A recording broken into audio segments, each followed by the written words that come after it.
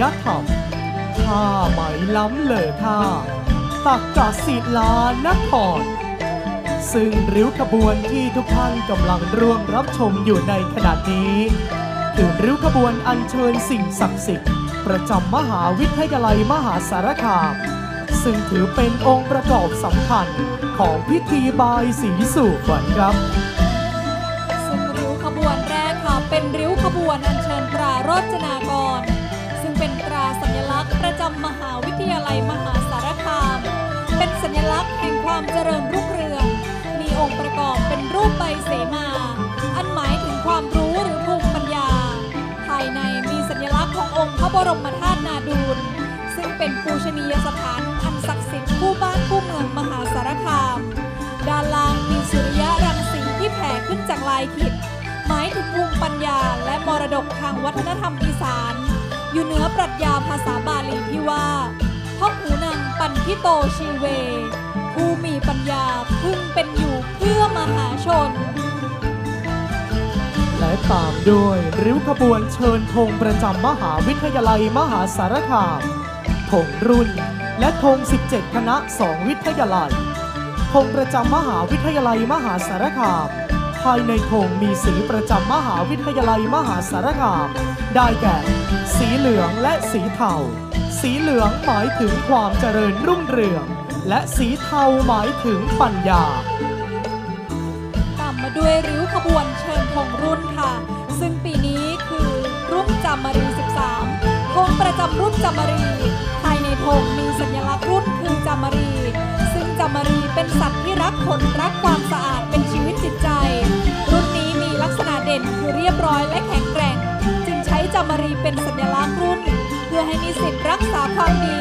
เหมือนดังจามรีที่รักษาขนตัวเองเป็นอย่างดี และตามด้วยริ้วขบวนเชิญธงทั้ง 17 คณะ2วิทยาลัย ที่แสดงออกถึงความพร้อมใจ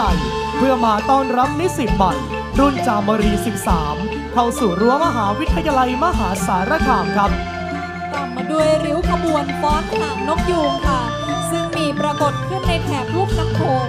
เป็นศิลปะการฟ้อนอันงดงาม ที่เก่าแก่ตั้งแต่อดีตจวบจนปัจจุบัน ตามความเชื่อที่ว่า เป็นการปัดป้องสิ่งอัปมงคล และถือเป็นสัญลักษณ์แห่งการเริ่มต้นอันเป็นสิริมงคล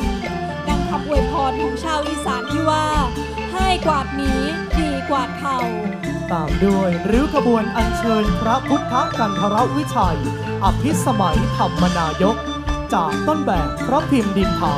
ที่กุดพบณอำเภอกันทรวิชัย จังหวัดมหาสารคาม สถาบันวิจัยศิลปะและวัฒนธรรมอีสาน มหาวิทยาลัยมหาสารคามได้จัดสร้างพระพุทธรูปศิลปะทวาราวดี เพื่อเป็นพระพุทธรูปศักดิ์สิทธิ์คู่บ้านคู่เมืองมหาสารคาม และในโอกาสสมโภชกรุงรัตนโกสินทร์มีอายุครบ 200 ปี พระบาทสมเด็จพระบรมชนากาธิเบศรมหาภูมิพลอดุลยเดชมหาราช บรมนาถบพิตรเสด็จพระราชดำเนินประกอบพิธีเททองหล่อ พร้อมด้วยพระบรมวงศานุวงศ์โดยมีสมเด็จพระสังฆราช สกลมหาสังฆปรินายก เป็นประธานฝ่ายสงฆ์และทรงพระกรุณ มหากรุณาโปรดเกล้า พระราชทานนามว่า พระพุทธกันทรวิชัยอภิสมัยธรรมนายกครับ ตามมาด้วยริ้วขบวนเครื่องคายบายสีค่ะ ซึ่งประกอบด้วยขันห้าผ้าขาว สุราขาว หมากพลู ไก่ต้ม ไข่ต้ม ข้าวต้มมัด และอาหารคาวหวาน ซึ่งเป็นองค์ประกอบสำคัญในการประกอบพิธีบายสีสู่ขวัญ และตามด้วยริ้วขบวนอัญเชิญผ่านบายสี ซึ่งเป็นบายสีขนาดใหญ่บนเกวียน ซึ่งจะถูกนำมาประดิษฐานณลานพิธีอันเป็นมงคลแห่งนี้ เพื่อจะได้ทำพิธีบายสีสู่วัญนิสิตใหม่ รุ่นจามรี 13 ครับ และริ้วขบวนอัญเชิญบายสีและป้ายผูกแขนจาก 17 คณะ 2 วิทยาลัย ซึ่งเป็นการแสดงออกถึงความพร้อมกายความพร้อมใจ พื่อต้อนรับนิสิตใหม่ร่วมจามรี13ด้วยมิตรไมตรียิ่ง และตามและริ้วขบวนสุดท้ายในวันนี้คือริ้วขบวนนางรำเป็นนิสิตจากสาขาวิชาศิลปะการแสดง คณะศิลปกรรมศาสตร์ และวัฒนธรรมศาสตร์ มหาวิทยาลัยมหาสารคาม ที่จะมารำต้อนรับน้องๆนิสิตใหม่รุ่นจามรี 13 ซึ่งควบคุมและฝึกซ้อมการแสดงโดย อาจารย์ว่าที่ร้อยตรีเกิดสิรินกน้อย และนายธีรวัตรเจียงคำ